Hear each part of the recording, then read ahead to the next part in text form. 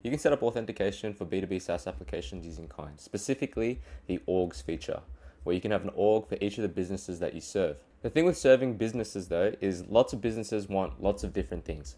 So for authentication, it might be custom branding, maybe they just want to use email and code. You may have a different business that wants to use Google login and MFA, and you may have an organization that wants to use Entra ID and a custom domain or something like that. The good thing is on Kinde with advanced orgs, you can achieve all of that. Here I have a B2B application set up where I'm serving a whole bunch of different libraries which are represented as organizations on Kinde. By the different libraries, I've been given different requirements for their authentication. So the Neural Nexus, they want to use email and code. Lamina Library wants to use Google with MFA. And the Arcane Academy wants to use Entra ID and they want to have a custom domain. For the Neural Nexus, it looks like they want some custom branding and they want to use email and code. So what does that look like on Kinde? If you head to your Kinde organizations, click on that organization, so the Neural Nexus.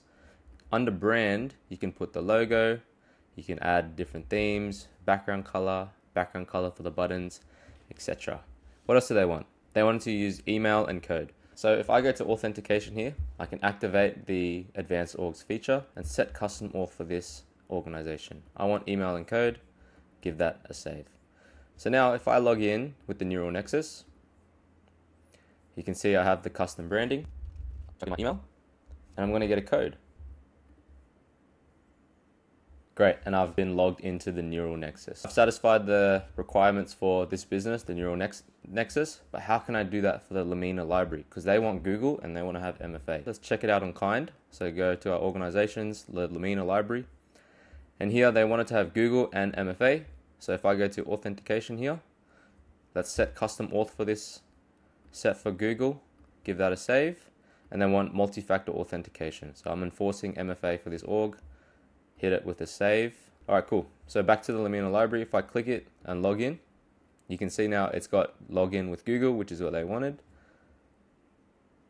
And now this is actually the MFA bit. So it's sending me a code. So I've got the code, I'll paste it in, log in, and I've just used Google and an MFA code to log in to the Lamina library, which is what they want. And we'll do the final organization or the final library where they want Microsoft Entra ID and they want to have a custom domain of their own.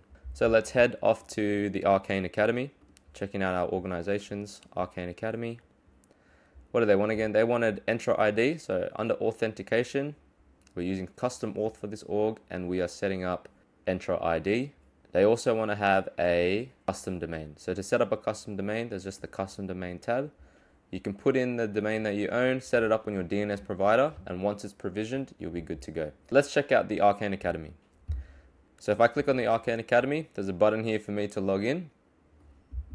I'll click login and notice how it is taking me to the custom domain that I had set up, auth.thearcaneacademy. And it's telling me I can continue with Microsoft Entra ID. So if I click that, I'll log in through Microsoft and it'll send me back Woohoo! Success. So that's the power of advanced orgs in Kinde where you can tailor the experience for each of your businesses to whatever their requirements are. So that's the power of advanced orgs in Kinde.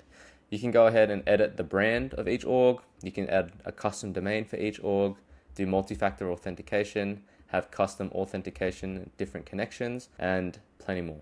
Hope that was useful and thank you for watching.